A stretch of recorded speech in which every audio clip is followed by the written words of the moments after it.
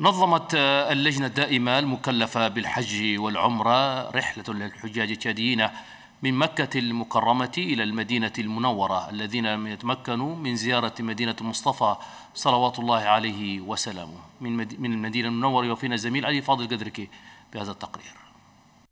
اللجنة الدائمة للحج والعمرة تنظم رحلة إلى المدينة المنورة للحجاج الذين قدموا على متن الطائرة الأخيرة عن طريق مدينة جدة وهو ما أكده عضو اللجنة المكلف بالإسكان. طبعا هذه الرحلة تعتبر الرحلة العاشرة التي وصلت مطار جدة ولم تصل إلى مطار المدينة والسبب في ذلك هو التأخير الحجاج من مجيئهم من جمينا إلى المملكة العربية السعودية. هذه الرحلة العاشرة بإذن الله في هذا اليوم وهو يوم 23 تسعة سيتوجهون إلى المدينة المنورة لأجل زيارة النبي صلى الله عليه وسلم والأماكن المزارة في المدينة.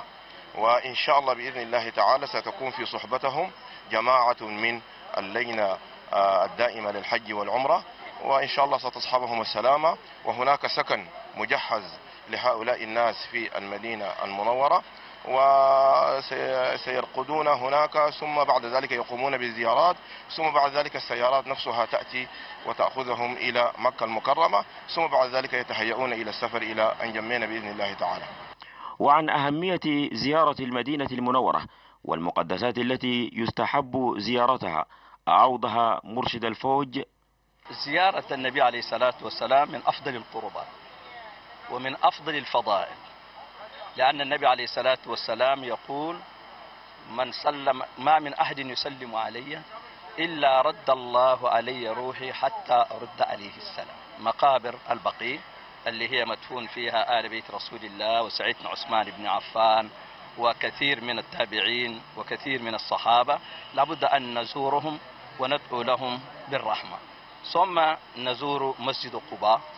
ومسجد القبلتين وكذلك نزور مقابر شهداء أحد التي فيها زعيم الشهداء سيدنا حمزة بن عبد المطلب. وبهذه الزيارة تكون اللجنة الدائمة للحج والعمرة أجابت على كل التساؤلات والشائعات التي قيلت بأن حجاج الرحلة الأخيرة لن يتمكنوا من زيارة المدينة المنورة.